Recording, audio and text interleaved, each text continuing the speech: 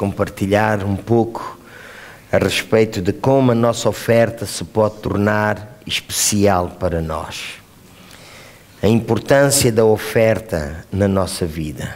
Muitas vezes as pessoas olham para a oferta como algo sem importância, muitas vezes, inclusive, até as pessoas olham para a oferta como se a oferta fosse apenas uma, uma esmola que é lançada assim, sem, sem dar significado.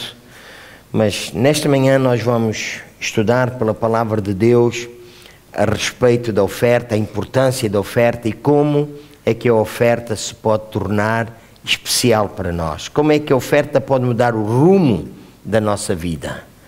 Sabe, a oferta pode mudar o rumo da nossa vida. E nós devemos dar de, dedicar especial atenção à nossa oferta. Sabe que falar sobre este tema, eu sei que muitas vezes levanta críticas, muitas vezes as pessoas falam, porque se fala sobre ofertas.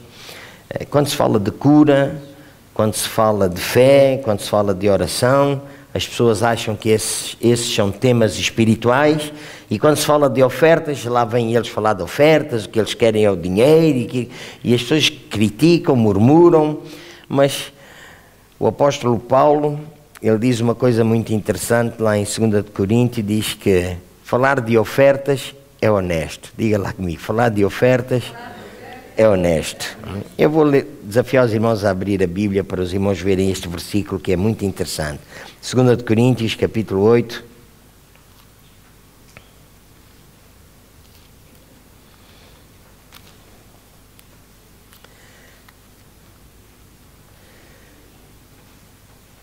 Segunda de Coríntios, capítulo 8, diz assim a palavra de Deus: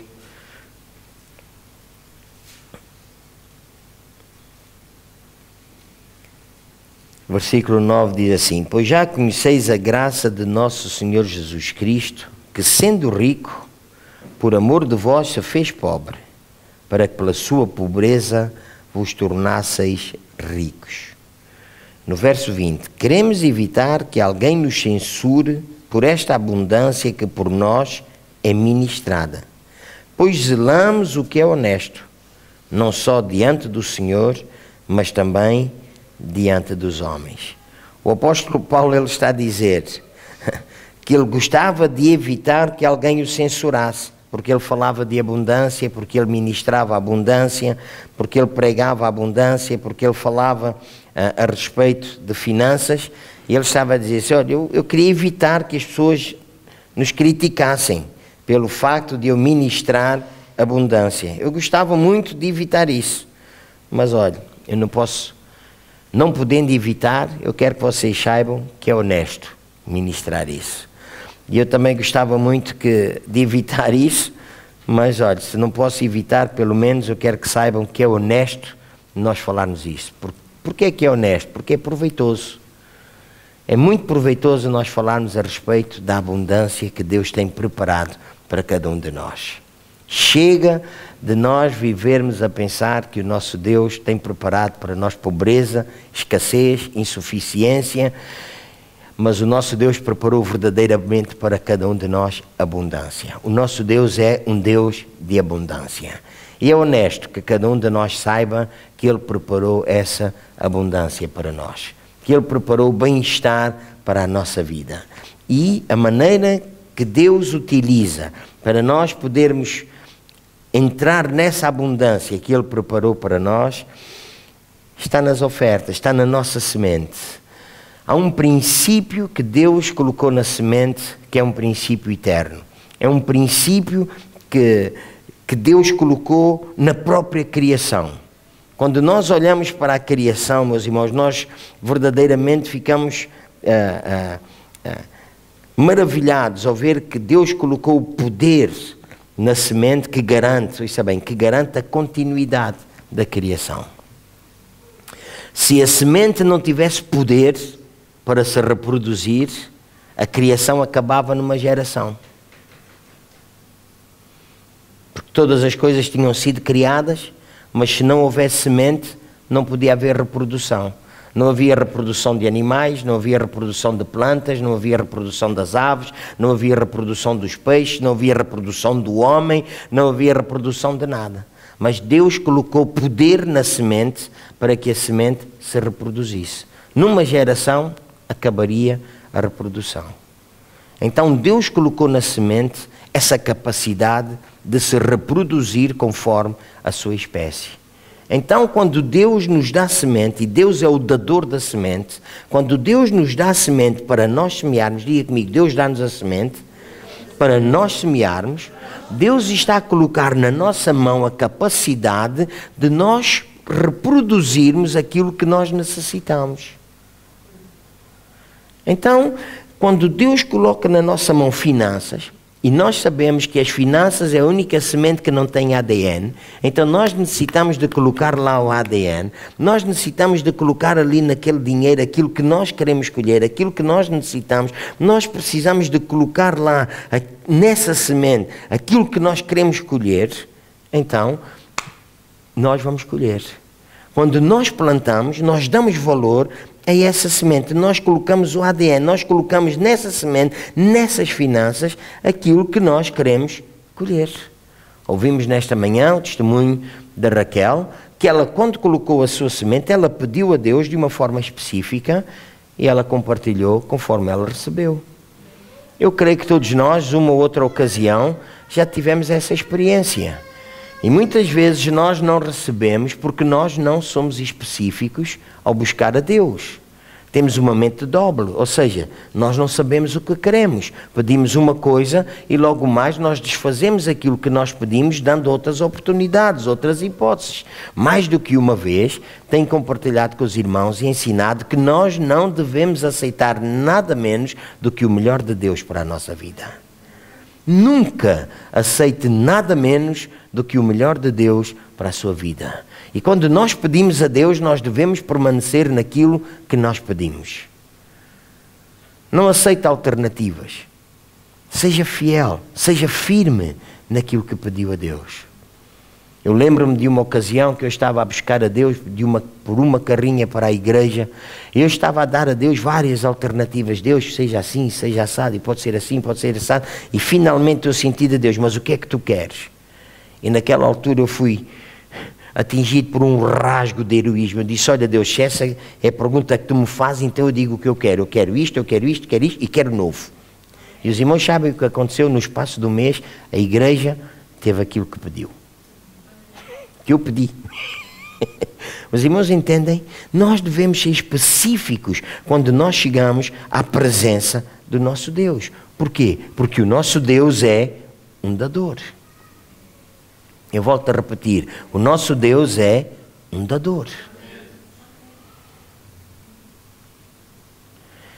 E muitas vezes, quando nós plantamos a nossa semente, nós temos um tempo de espera.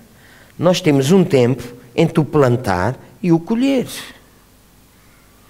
Eu já compartilhei com os irmãos algumas vezes a respeito de, de sementes que eu tenho plantado na minha vida e tempos de espera. Há uma semente que eu plantei há um tempo atrás e foi uma semente específica, foi uma semente, e já vou falar um pouco sobre isso, que, que teve significado para mim, doeu, custou, é daquele tipo de sementes que, que provoca dor de barriga, e eu ainda estou à espera.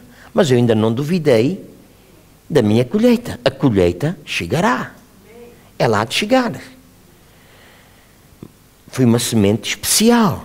É uma semente específica. É aquele tipo de semente que quando nós semeamos, ela dói. Mas a Bíblia diz que vai chegar um momento em que quando nós colhemos, nós vamos regozijar-nos com a nossa colheita. Plantamos com choro, mas vamos colher com alegria. Então, nós devemos fazer com que a nossa oferta seja uma oferta especial, seja um tempo muito especial para nós. Não é apenas algo que nós fazemos de uma forma vulgar. Não é apenas algo que nós fazemos porque temos que fazer. A cada vez que nos reunimos, lá tem que ser. Não, nós fazemos do tempo da oferta um tempo de celebração. Obrigado pelo vosso amém. Valorize a sua semente. A sua semente pode ser 5 euros, a sua semente pode ser 10 euros, a sua semente pode ser mil euros. Mas valorize a sua semente. Quando o irmão está a trazer a sua semente, essa semente é valiosa para si. É como se fosse a coisa mais valiosa que o irmão tem para apresentar a Deus. Ela é preciosa, ela é valorosa, é a melhor nota que o irmão tem.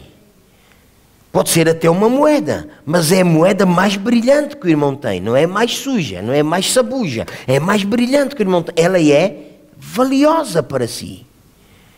É nota mais limpa, mais bonita. Parece que saiu da máquina diretamente para a sua mão. Oh, pastor, mas isso tem algum significado? Tem. Tem todo o significado. Eu já expliquei isto muitas vezes. Eu posso dizer aos irmãos que se os irmãos forem à minha carteira no dia de hoje, as notas que o irmão vão, vão encontrar na minha carteira, 99% das notas que os irmãos encontram lá são novas. Quando eu vou a uma máquina, uma caixa multibanco e me dão notas velhas, os irmãos sabem o que eu faço? Eu, primeira oportunidade, eu despacho-as ou vou depositá-las no banco novamente, para ter notas novas. Eu gosto de notas novas. Tem mais valor? Não, o valor é o mesmo, mas tem mais significado. Eu volto a repetir, não tem mais valor, mas tem mais significado. Por quê? Porque o dinheiro representa a nossa vida. Representa o nosso trabalho. O seu trabalho tem significado para si? O seu trabalho significa o seu esforço? O seu trabalho significa a sua entrega? O seu trabalho é. Uh, deixa andar. Tem que ser. Se não trabalhar, olha, não como. O seu dinheiro é fruto do seu esforço, do seu empenho, do seu trabalho, da sua dedicação. Ah, mas eu até nem gosto do meu trabalho. Mas o seu dinheiro é fruto desse trabalho que o irmão não gosta. Alô? Mas quando o irmão traz a sua semente do trabalho que o irmão não gosta, o irmão valoriza a sua semente para quê? Para alcançar o trabalho que gosta. Alô? Valorize o tempo da sua semente. Faça da sua semente algo que tenha significado para si. A Bíblia nos diz em Hebreus capítulo 4, 4, verso 15, que nós não temos um sumo sacerdote que não possa compadecer-se das nossas fraquezas, porém um que, como nós, em tudo foi tentado, mas sem pecado. O que é que isto significa? Isto significa que o nosso sumo sacerdote, Jesus Cristo, o Senhor, ele entende os nossos sentimentos. Ele teve sentimentos como nós temos sentimentos. Então ele entende os nossos sentimentos. Ele entende a nossa tristeza, ele entende o nosso abatimento, ele entende uh, os nossos momentos de, de aflição, de dor, de, de abatimento, de depressão, de, de, de angústia, de frustração. Oh, meus irmãos, eu sei o que é nós vivermos frustrados. Eu sei o que é isso. Eu sei o que é os irmãos irem para o vosso local de trabalho frustrados. E alguns dos irmãos dizem assim: Ah, mas eu conheço o pastor, o pastor, desde os 17 anos, que largou tudo para ir para a escola bíblica e saiu da escola bíblica e é pastor. Hein? É, pois olha, eu sei o que é estar frustrado. Como é que sabe? Porque eu sei o que é ser pastor frustrado. Eu sei que é ser pastor e ministrar para uma igreja que não liga nenhuma àquilo que o pastor diz. Aí esta era para não ser dita. Eu sei que é ser pastor e acabar de pregar, depois de estudar horas, depois de buscar a Deus aquilo que deve ser dito, depois de ouvir de Deus e depois de acabar de pregar, alguém dizer: Oh, pastor, isso entrou por um lado e saiu pelo outro. Aí nunca ouviram, pois eu já ouvi e chegar a casa e sentar-me lá no escritório, no lugar onde eu tinha estado de joelhos a orar e chorar, e chorar, só Deus, o que é que eu estou a fazer aqui? Os irmãos sabem quem está frustrado? Eu também. Eu também.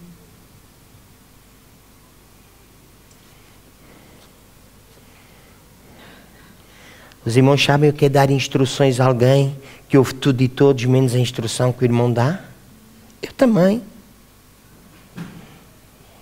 Os irmãos sabem o que é dizer uma coisa a alguém que nunca vos ouve e vem o Zé pintado do outro lado do mundo e diz a mesma coisa que o irmão está farto de dizer.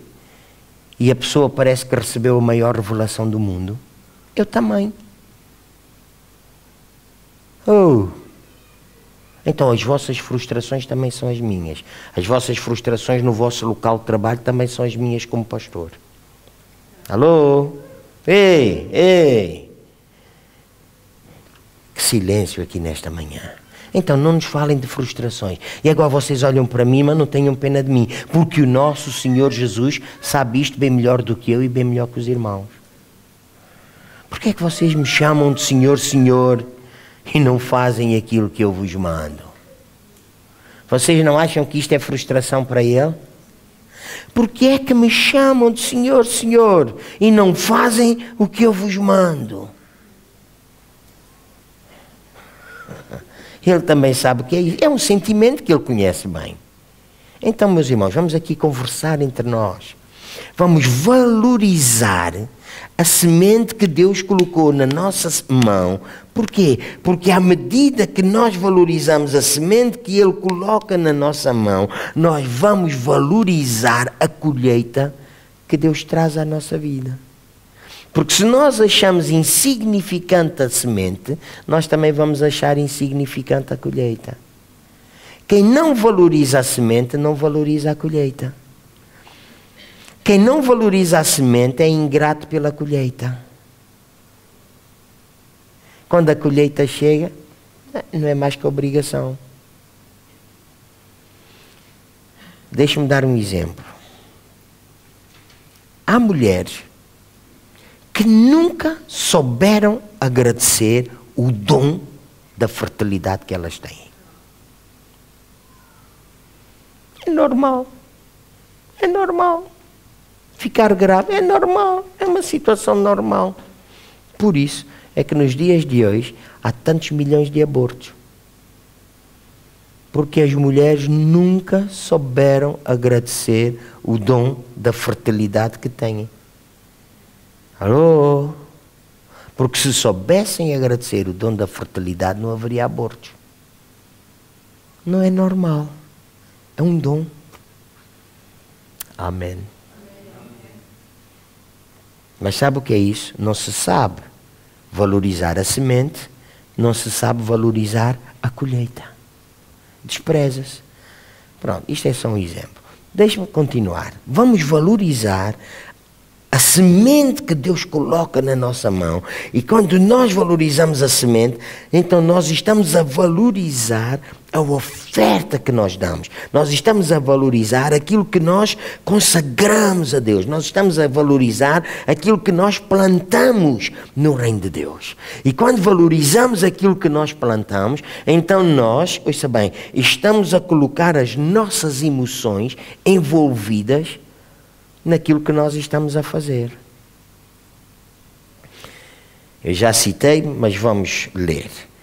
No Salmo 126, versículos 5 e 6 diz assim: Os que semeiam em lágrimas, com cânticos de júbilo seguirão. Aquele que sai chorando, levando a semente para semear, voltará com cânticos de júbilo, trazendo consigo os seus molhos. O que é que isso significa? Quando nós trazemos a nossa oferta, isto cria aqui dores de barriga, meus irmãos. isto significa que a nossa colheita vai ser abundante. Ouça com ouvidos de ouvir. Quando trazemos a nossa oferta e a nossa oferta cria dores de barriga, as nossas emoções estão envolvidas, às vezes até cria aquela, aquela incerteza. Meus irmãos, vamos aqui ser francos. Vamos ser francos. Eu não conheço a vida económica dos irmãos, também não tenho que conhecer, mas vamos supor, vamos supor que eu chegava aos irmãos nesta manhã e vamos dizer, oh, irmão, cada um de nós vai semear um euro. Eu olho para os irmãos e aos meus olhos, aos meus olhos, eu não sei, mas aos meus olhos, eu acho que um euro não faria dores de barriga a ninguém aqui hoje. Aos meus olhos. Se calhar faria, mas aos meus olhos, um euro não faria dores de barriga a ninguém. Aos meus olhos. Mas se eu chegasse aqui esta manhã, irmãos, vamos semear mil euros aqui nesta manhã. Aos meus olhos, eu acho que mil euros faria dores de barriga, diarreia a alguns irmãos aqui nesta manhã. Ai, não se deve dizer diarreia, está a ser gravado. Não, não, mas eu acho que fazia mesmo. Sinceramente, eu acho. Por aquilo que eu conheço aos meus olhos. Se calhar até me, engana, até me enganava. Mas aos meus olhos, aos meus olhos, eu acho que isso ia fazer perturbação a alguns irmãos. Os irmãos estão a perceber? Mas quando Deus, agora presta atenção, quando Deus nos dá essa instrução, agora não estou a falar dos meus olhos, não estou a falar daquilo que eu penso, não estou a falar daquilo que eu imagino, eu estou a falar daquilo que Deus sabe, porque Deus conhece a cada um de nós. Deus sabe o que nós temos e o que não temos. Alô? Deus sabe. Quando Deus nos dá uma instrução, Deus também sabe o que nos causa dor de barriga ou não. Deus sabe. Mas quando Deus dá uma instrução, mesmo sabendo que causa dor de barriga, Deus sabe que temos. Porque jamais Deus nos mandará semear aquilo que nós não temos. Alô? Eu volto a repetir. Jamais Deus nos mandará semear aquilo que nós não temos. Eu vou voltar a repetir. Jamais Deus nos mandará semear aquilo que nós não temos. Se não tem, não pode semear o que não tem. Deus só manda semear o que tem. Alô? Alô? Eu repito, Deus só manda semear o que tem. Use o que tem. Semeie o que tem. Às vezes o que Deus manda semear é tudo o que tem, mas é o que tem. Não é o que não tem, é o que tem. Então, quando dá, os que semeiam em lágrimas, ou seja, quando dá em lágrimas, quando as suas emoções estão envolvidas, então vai colher o quê? Com alegria, com júbilo, com, com, com alegria, com, com, com abundância. Por quê? Porque essa oferta é uma oferta especial para si. É uma oferta especial. Essa oferta envolveu alguma coisa. Aquela oferta é de facto especial. É uma oferta que Deus, uau, foi Deus que falou. Isto, isto custou, Senhor. Olha que isto custou. O irmão não precisa relembrar Deus, porque Deus sabe. Deus já falou consigo. Foi Deus que falou consigo. Foi Deus que ministrou a sua vida. Deus sabe muito bem o que isso lhe custou, irmão. Então, quando o irmão traz, o irmão não traga com as dores de barriga e com dor. O irmão traga com a alegria da obediência. Eu vou repetir. O irmão não traz com a dor. O irmão traz com a alegria da obediência. Quão bom é obedecer aos teus preceitos, Senhor. Quando Deus dá instrução,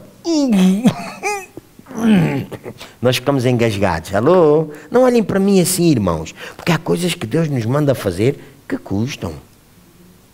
Olhar para o irmão que está ao seu lado, olhos nos olhos e dizer assim: Eu tenho essa experiência. Ouviu bem? Há coisas que Deus manda fazer que doem. Mas quando nós vamos trazer e quando vamos obedecer, nós não vamos. Ai, Deus mandou. Irmão, isso é quando estamos na casa de bem aflitos. Aí este pastor diz cada uma na igreja. É, quando está na casa de bem muito aflito. É... Não. Quando nós estamos a obedecer a Deus, nós estamos animados. Apresentai-vos diante de Deus como? Não, é com alegria. Amém? Isso é quando Ele dá instrução. Ui, Senhor, esta é dura. Mas quando estamos a obedecer e a fazer, uau, que alegria é poder obedecer à tua instrução. Amém. Amém. O tempo da dor, o tempo da luta, o tempo de, vamos dizer assim, de resmungar e questionar Deus já lá vai. Porque quando Deus dá instrução, meu irmão, oh, meu irmão, seja franco, seja franco. Há coisas que Deus manda fazer que nós discutimos com Deus.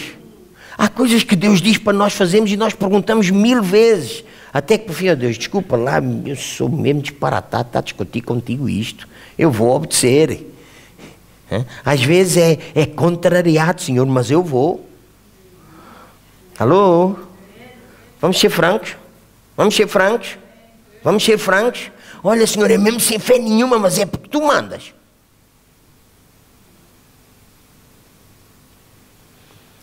Oh, não, eu sou daqueles super espirituais. Deus manda, eu digo logo sim. nós deixamos desse super espiritualismo porque nós não somos assim. Há coisas que Deus nos manda fazer, até dizer que sim. Uau!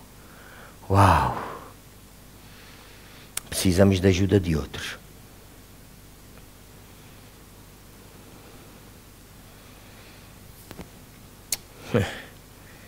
Mas eu vou dizer aos irmãos: quando fazemos, o júbilo é grandioso. Quando nós ofertamos a Deus, irmãos, Deus vai olhar para aquilo que nos fica. Quando nós consagramos a Deus, ouça, está toda a gente ouvir com ouvidos de ouvir? Quando nós estamos a consagrar a Deus, aquilo que Deus olha não é o que nós estamos a trazer, é aquilo com que nós ficamos. Para Deus quantificar a importância daquela oferta, a importância daquela semente, o valor daquela semente. Jesus estava sentado lá no templo, lá na sinagoga, e diz que ele observava a multidão. E Jesus observava a multidão, veja bem, e diz que a multidão vinha e lançava, diga lá comigo, lançava. Os irmãos sabem o que é lançar? não é conforme nós fazemos. Nós, quando chegamos aqui, nós vimos e colocamos o dinheiro. Alguns irmãos têm o cuidado de pôr o dinheirinho lá, até fazem assim. Eles não. Eles davam tanta importância àquilo que eles faziam que eles lançavam. É como se faz aos pobres, não é? Estão lá sentados, lançam, atiram. Era o que eles estavam a fazer. Os irmãos ouviram aquilo que o, que o pastor Jim Schreiner contou aqui, naquela igreja na Índia? Lembram-se? Que o pastor disse: nesta manhã ou nesta noite, já não me lembro, vamos trazer a nossa oferta e vamos colocar a nossa oferta aqui no altar. E a igreja veio e trouxe oferta e puseram a oferta toda no altar. E depois ele disse: Agora vamos lá fora chamar os pobres todos que estão lá na rua para vir buscar a oferta. E os pobres entraram e saíram, nenhum deles levou a oferta. Os irmãos lembram-se? Lembram-se que ele compartilhou isto aqui? O pastor estava na igreja. E o pastor disse: Irmãos, vamos trazer nossa oferta e apresentar a Deus a nossa oferta neste dia. Nesta manhã, não me lembro. Manhã, à tarde ou à noite, seja lá quando for. E toda a igreja trouxe e pôs a oferta no altar. Ele disse: Agora vamos à rua e vamos chamar os pobres para vir aqui levantar o dinheiro e levar o dinheiro. E os pobres entraram na igreja e não levaram nada. Ele disse: Nem os pobres querem aquilo que vocês trouxeram. Oh! Este pastor Paulo vai se lembrar de cada história. Foi o pastor Jim que contou aqui. Há pessoas que trazem oferta para Deus que nem os pobres querem. Estamos a falar da Índia.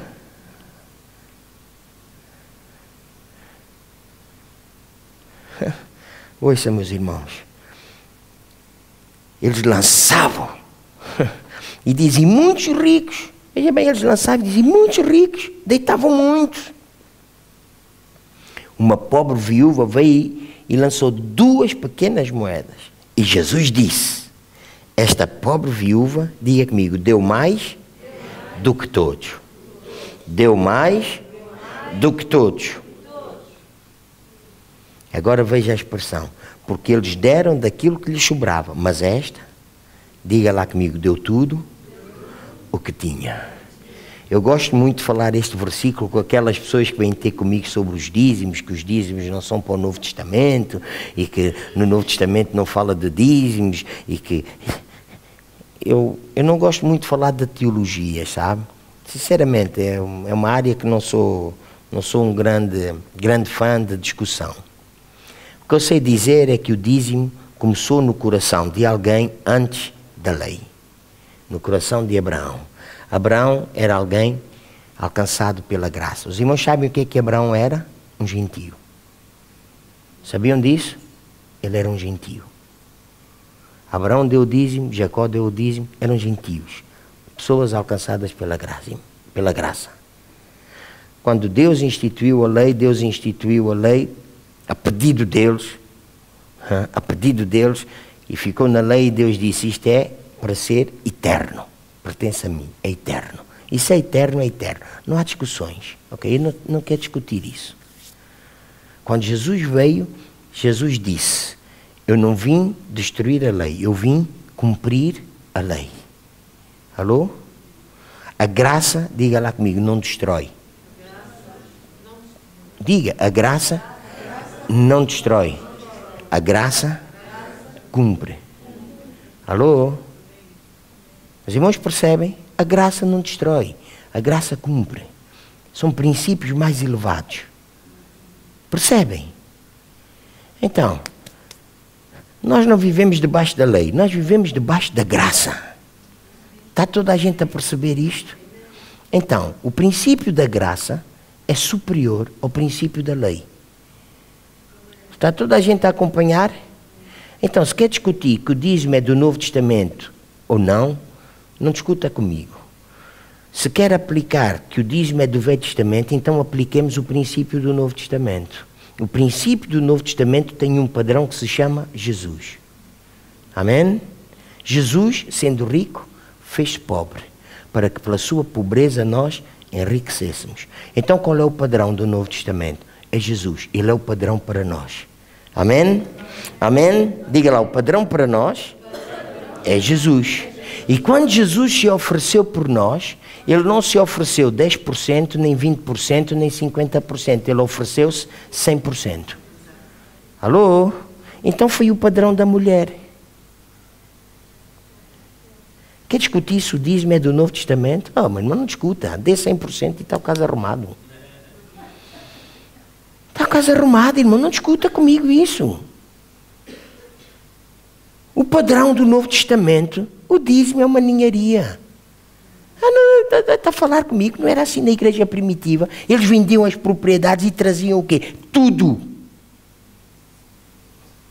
Não é o padrão? Quer viver o padrão? Vamos viver o padrão. Quer discutir teologia? Comigo não. Mas vamos viver o padrão. Vamos viver o princípio. Se Jesus é o princípio, se Jesus é o centro, vamos viver o centro. Ai, que cara triste que eu estou a ver aqui nesta manhã. Oh, pastor, vamos voltar ao dízimo. Vamos voltar imediatamente para o dízimo. Está estabelecido, não falo outras coisas. Para que andar com essas conversas, pastor? Deixe lá os outros. Deixe lá. Não, eu não quero discutir isso, irmãos. Nós somos pessoas que, quando trazemos o nosso dízimo, nós o fazemos de uma forma liberal.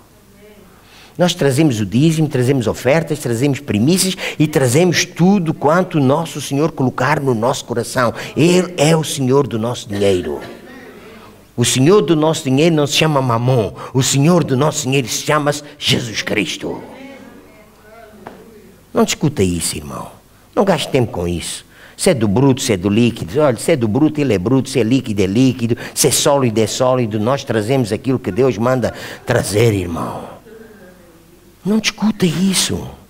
Aplique princípios à sua vida. Viva de acordo com esses princípios. E Jesus olhou para esta mulher e esta mulher deu tudo o que tinha, mesmo todo o seu sustento. E Jesus valorizou isto. Não sabemos mais nada da história desta mulher. Mas conhecendo aquilo que eu conheço a respeito de Deus, eu tenho para mim que esta mulher nunca mais ficou sem sustento. O que é que vos parece? Jesus que está ali, vê uma mulher que, de, que deu todo o sustento numa oferta, o que é que os irmãos acham? Que todos os dias da sua vida foram abençoados. Amém? Com a medida com que nós medimos, nos medem de novo. Não foi o que Jesus disse? Se ela aplica tudo, ela recebe tudo. Alô? Se ela, diga, diga lá comigo, qual foi a medida que ela deu? Todo o sustento. Diga lá, todo o sustento. Qual é a medida que Deus usou para abençoar a vida dela? Todo o sustento. Todos os dias da vida dela ela teve sustento. Todos os dias da vida dela teve sustento. Todos os dias da vida dela teve sustento. Pode dizer, todos os dias da vida dela teve sustento. A medida que ela usou é a medida que ela colheu. Ela valorizou. Ela colheu. Vamos valorizar a nossa semente, irmãos. Vamos aplicar o padrão na nossa vida. Vou concluir. Tinha aqui muito, muito, muito para dizer. Mas eu vou concluir, creio que é suficiente. Davi mostrou-nos um exemplo extraordinário. Quando ele chegou à eira de Araúna e ele queria oferecer sacrifício, o povo por causa do seu pecado, Davi começou a confiar nas suas forças, começou a confiar no seu exército. Deus não apreciou isso. Agora o povo estava doente e agora Davi diz: Oh Senhor, eu pequei, eu pequei, o que é que eu vou fazer? Davi quis oferecer a Deus sacrifício. Chega à eira de Araúna. Quando Araúna vê que é o rei, Araúna diz: Olha, toma, toma, podes sacrificar, eu dou-te a terra, eu dou-te os animais, podes sacrificar ao Senhor teu Deus. O que é que Davi disse? Eu não vou oferecer nada ao Senhor meu Deus que não seja precioso para mim. Diga lá, eu não vou oferecer nada ao Senhor meu Deus que não seja precioso para mim. Antes eu te comprarei pelo seu devido valor. Davi pagou. Os irmãos sabem o que aconteceu? Davi ofereceu o sacrifício aquela praga acabou, a doença acabou. E os irmãos sabem, naquela eira onde Davi sacrificou, naquele mesmo lugar, o templo de Salomão foi construído. No lugar do sacrifício, ouça, no lugar do sacrifício, a casa do Senhor foi construída. No lugar do sacrifício, quando Abraão estava pronto a imular Isaac, ao nome do Senhor foi chamado Jeová Jiré, o Senhor proverá. No nosso lugar do sacrifício, o Senhor proverá, aparece a cada um de nós. No nosso lugar de sacrifício, é o Senhor que cura, é o Senhor que sara, é o Senhor que é nossa vitória, é o Senhor que é nossa restauração, é o, olha, é o Senhor que é tudo para nós e bem podemos resumir. No nosso lugar de sacrifício é o grande eu sou, o que era, o que é, o que há de vir o Senhor Jesus Cristo, aquele que é tudo para nós. Ele se apresenta como o centro da nossa vida, aquele que é capaz de resolver todas as coisas para nós. Nesta manhã, quando nós consagramos a nossa oferta, vamos fazer deste tempo um tempo especial. Meu irmão, quando trouxer a sua semente, Escolha o melhor, oh, é o melhor, a mais novinha, mais limpa, brilhante. Hum, dá para dar um beijinho na sua semente. É o melhor. É o melhor. Ouça, é o melhor que o irmão tem. Dentro, ouça, dentro da sua prosperidade. Este é o princípio. Cada um prepara, dizia o apóstolo Paulo, cada um prepara de acordo com a sua prosperidade. Se a prosperidade para um é 100, é 100. Se a prosperidade para o outro é 5, é 5. Se a prosperidade para o outro é 1000, é 1000. Dentro da sua prosperidade. Faça-o, mas valorize aquilo que está a fazer. Oh, meu irmão, não faça isso uma coisa banal. Não, não é banal. Isto é espiritual. Espiritual. Ponha-lhe ali o ADN. Ponha o ADN. Meu irmão, na nossa vida, nós temos necessidades. O nosso Deus, Ele é o Senhor que supre todas as nossas necessidades. Coloca o seu ADN. Jesus não está aqui fisicamente, mas o seu Espírito está. Ele vê, Ele vê o que nós fazemos. Ele vê a maneira como lançamos, Ele vê o nosso coração, Ele vê o que colocamos e Ele vê o com que ficamos. Ele vê. E Ele vê a atitude do nosso coração. Vamos fazê-lo com liberalidade, não com lei. Não com lei. Nós trazemos dízimos, nós trazemos primícias, nós trazemos ofertas, nós trazemos toda a sorte de ofertas, irmãos. E nós consagramos a Deus. É o nosso. Vamos dizer que este não é o lugar da nossa. Uh, Deixe-me dizer, deixe-me ver se eu posso dizer assim. Este lugar é o lugar onde colocamos a nossa semente. Mas eu não quero não quero lançar nenhuma ideia errada, mas é o lugar onde colocamos a nossa semente, mas é o lugar da nossa provisão. O irmão entende? Aqui colocamos a semente, mas daqui sai a nossa provisão. O que é que isso significa? Quando nós lançamos a semente à terra, a nossa semente vai extrair da terra o que a terra tem de melhor. Certo? Se a terra não presta, a semente não vai extrair nada da terra. Certo? Então, quando nós trazemos a nossa semente, aqui neste caso colocamos no balde ou podíamos lançar no chão, qualquer coisa. Quando nós trazemos, nós vamos extrair o que de melhor há. Isto é um, é um balde. Mas nós, quando trazemos, nós estamos a trazer para colocar nas mãos do Senhor nosso Deus. Nós estamos a trazer para colocar nas suas mãos, na mão daquele que providencia, na mão daquele que conhece a nossa necessidade. E é de acordo com as suas riquezas em glória que Ele supre todas as nossas necessidades.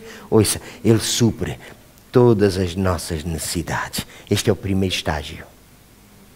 Porque o nosso Deus não é só um Deus de suprimento ele é um Deus de abundância. Comigo, Ele supre todas as minhas necessidades. E o segundo estágio, qual é o segundo estágio? Abundantemente nos dará todas as coisas. Aleluia. Vamos ficar em pé. Oh. Quando plantamos a nossa semente, meus irmãos, com a atitude correta no nosso coração, nós devemos esperar um favor sobrenatural. Sobrenatural. Nós ouvimos o testemunho da nossa irmã Raquel, que ela estava frustrada. Porque ela ia a entrevistas e, e não acontecia, estava frustrada. acontece, acontece. Eu tenho conversado com irmãos que têm desabafado isso comigo. Por isso, quando eu estava há pouco a falar aqui, é, é, eu costumo dizer que não é Espírito Santo de orelha, não, não, é os irmãos têm falado comigo, eu sei. Eu entendo isso. Os irmãos têm sido francos, temos orado, estamos a buscar a Deus, eu entendo isso. Mas eu quero encorajar-vos, quero encorajar os irmãos. Encorajamos-nos uns aos outros. Nesta situação da vida, nós encorajamos-nos uns aos outros. Vamos ficar firmes, fortes. Vamos valorizar o que nós valorizamos os princípios de Deus na nossa vida, nós valorizamos esses princípios e nós alcançamos o que nos está proposto. Aleluia. Aleluia. Eu volto a dizer, nós não somos pessoas super espirituais, deixemos-nos disso. Nós somos homens e mulheres. Acima de qualquer outra coisa, nós somos amados.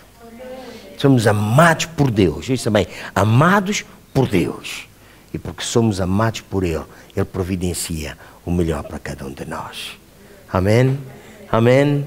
E aquilo que Deus faz na nossa vida, meus irmãos, é, é, é grandioso, irmãos. É grandioso. Por isso é que nós valorizamos o que trazemos até Ele. Eu lembro-me, há uns anos atrás, alguém chegou até mim e disse assim: Pastor, venha lá à minha casa. Aquilo marcou tanto a minha vida, irmãos, que eu nunca esqueci. Nunca esqueci, acho que nunca vou esquecer. E tenho falado isto através dos anos. Tem lá muitas batatas, pastor, muitas batatas. E aquelas batatas que eu tenho, pastor, já estão a ficar todas greladas. E se eu hei de dar aquelas batatas para os porcos? Assim, literalmente. O pastor venha lá à casa buscar. Assim. Jesus. Isso mesmo, Jesus.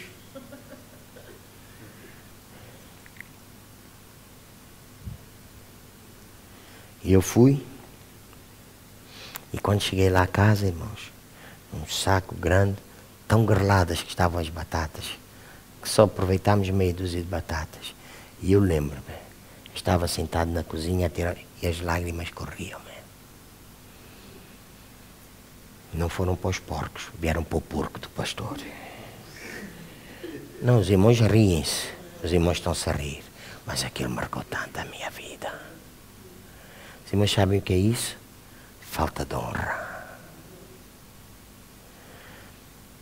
São de ir para os porcos. Venha lá a casa, pastor.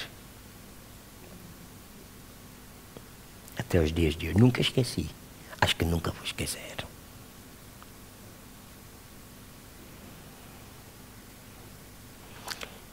Quem faz isso com o seu pastor, o que é que fará com Jesus?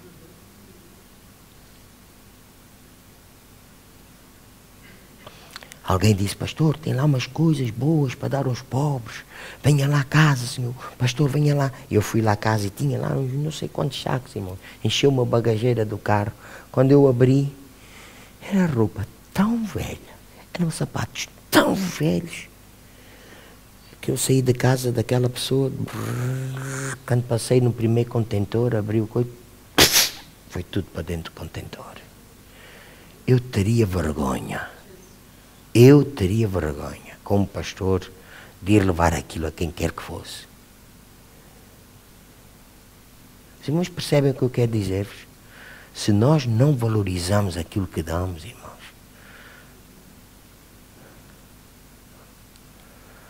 quando nós vimos trazer a Deus, vamos valorizar o que nós trazemos.